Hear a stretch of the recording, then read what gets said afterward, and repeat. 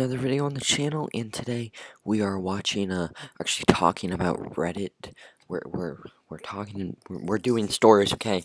Um, but, uh, yeah, uh, this is, uh, Christmas funny stories, or messed up stories, I'm not even too sure, but, uh, well, I guess we'll find out. Follow me on Twitch, subscribe to the main channel, miss out 120 subs, subscribe here, because, uh, I post every day here, and, uh, yeah, thank you guys for watching, and let's get straight into this video.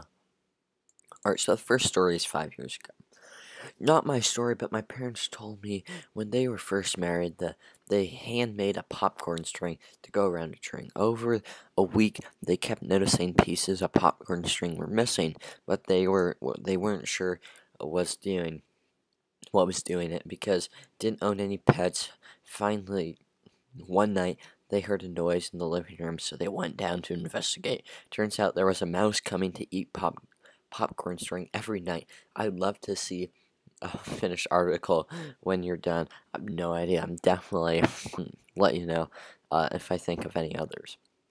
Well, this happened just a year ago. We had food set up on our table, and there were sitting on chairs around it.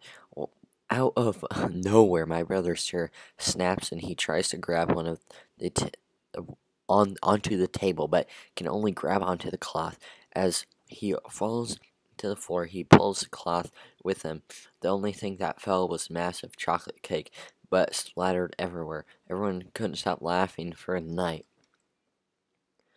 Alright, so, uh, this is probably uh, another this is, this is another one that took five years ago took place five years ago my younger cousin snuck my present from the tree at my grandparents and held it hostage for about a month or so, we were all bewildered and freaked out. My grandpa took their their lab to the vet's office to make sure she didn't eat it. I remember crying because I was the only kid who didn't get a present out of eight or nine cousins. My aunt eventually found it in his room, so always make sure uh, that gifts are accounted for, and there for Christmas, nothing is missing.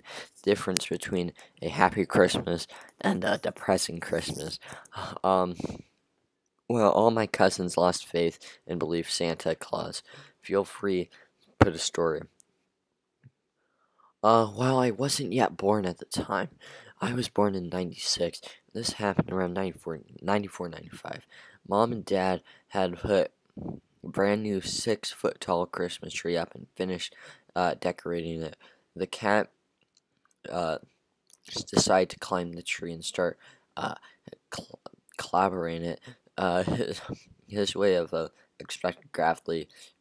prevented it, and the whole thing fell, destroying almost all the delicate glasses, glass, uh, glass decorations that hung on the tree midsection. When I was a kid, I always thought the glass ornaments were put high so I couldn't clumsily knock them over while helping decorate. Well, we had another kid enter the household when I was just one. Apparently, he loved climbing the tree as as much as a uh, a Pritzker did. Hence, the trend.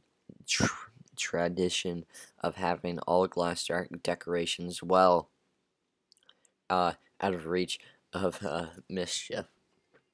Alright guys, uh, I think that's going to do it. Leave like, subscribe, turn on notifications if you want more Reddit stories. I know it's no nowhere close to Christmas, but I thought they were funny. And uh, yeah, um, in October, uh, in November, I think I'm going to do special stories, even though those are months away. For October, I'll probably do a Halloween special or something, but uh, yeah. In December, we'll probably do something like this too. But yeah, thank you guys for watching. Like, subscribe, turn on notifications. Uh, I'm gonna go eat popcorn, and uh, yeah, uh, follow me on Twitch, subscribe on the main channel, and peace.